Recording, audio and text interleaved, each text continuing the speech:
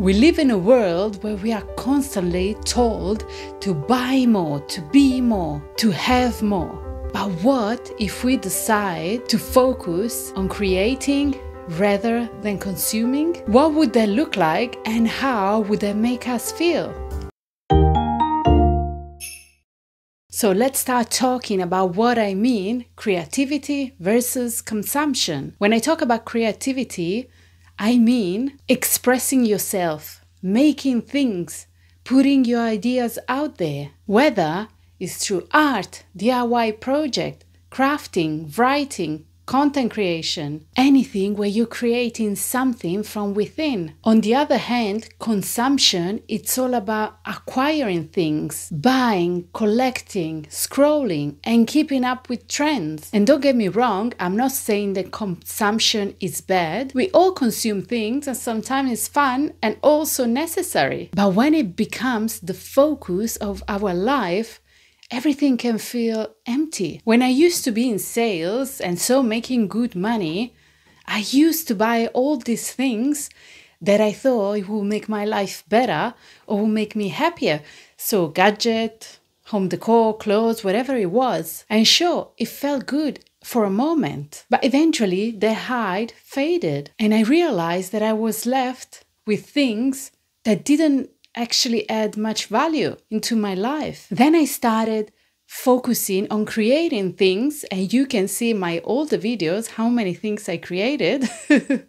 and so I will make DIY project, repurposing things, crafting candles. Honestly, the satisfaction that I had from creating my things, my own things, compared to buying them, like it's not comparable. It wasn't anymore about buying the latest trendy thing. It was about making something from nothing. I really loved the process. So, what are the benefits of choosing creativity over consumption? First of all, I believe self expression. When you're creating something, you put a little bit of yourself out into the world in that project. It's personal, unique, and it feels fulfilling in a way that shopping doesn't do. Creating allows, uh, allows us to connect with ourselves on a deeper level.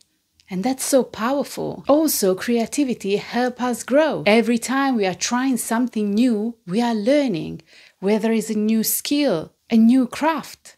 We are challenging ourselves. And even if it doesn't go perfectly, with candle making, for example, it will take you a while to make the perfect candle, but that's okay.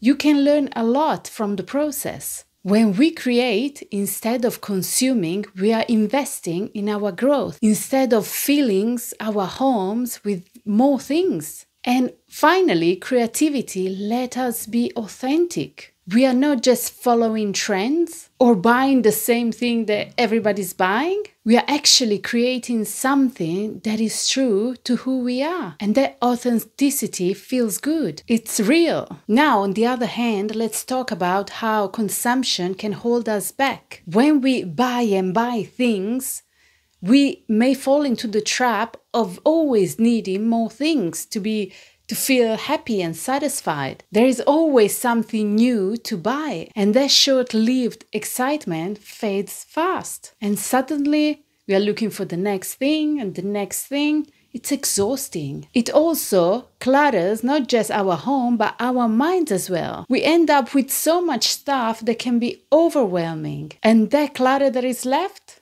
I feel like it can drain our energy. I found that the more that I consume and the more chaotic that I felt. But when I shifted to creating, I felt a sense of calm and simplicity that I personally couldn't find with shopping. If this idea of choosing creativity over consumption interests you, why don't you give it a go? Here I give you some steps on how to start today. Try and doing a no buy month and if a month feels a little bit too much, maybe start with a week and then Start seeing what creative things you can come up with using what you already have. You might be surprised on how much fun you will have. And if you want some inspiration, look at my older videos. I have hundreds of videos about making creative things on a budget. Start that little project that you've been thinking about, whether it's a DIY, painting, journaling, anything that lets you express yourself. Join a creative group or start one with your friends. Sharing ideas and projects can be inspiring and keep you motivated